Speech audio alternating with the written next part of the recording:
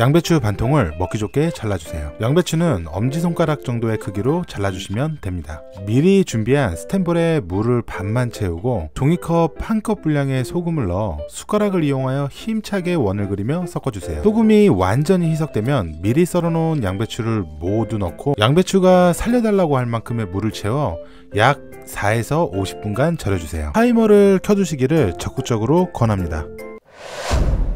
면역력과 항암 효과에 좋은 쪽파를 약 80g 정도 넉넉히 썰어주세요. 크기는 2에서 3cm 정도가 적당합니다. 귀요미 양파를 4등분해주고 간 양파를 만들 준비를 합니다. 믹서기에 양파, 새우젓, 반컵 분량의 물을 넣고 싫은 사람을 떠올리며 힘차게 갈아주세요. 40분간 목욕을 깨끗이 마치고 나온 양배추를 흐르는 물에 세척 후 서로 좋다고 엉겨있는 양배추 잎을 하나씩 떼주세요. 이때 식감이 안 좋은 굵은 양배추 잎은 가감히 하수도에 던져주세요. 삼촌이 연구하고 맛본 황금 레시피 양념장을 잘 보고 따라해주세요. 이때 중간에 드셔보시고 짭짤하게 느껴져야 정상입니다. 익으면서 맛 밸런스가 맞습니다. 양념을 모두 넣고 파를 넣어 힘차게 버무려주세요. 양배추는 식이섬유가 풍부해 이뻐지는 효과가 있으실 겁니다. 물론 저는 아니지만요. 기억에 잊혀질 뻔한 식초를 끝으로 다이어트와 건강에 좋은 양배추 김치가 완성됩니다. 삼촌 영상 봐주셔서 감사합니다. 구독과 좋아요 부탁드립니다.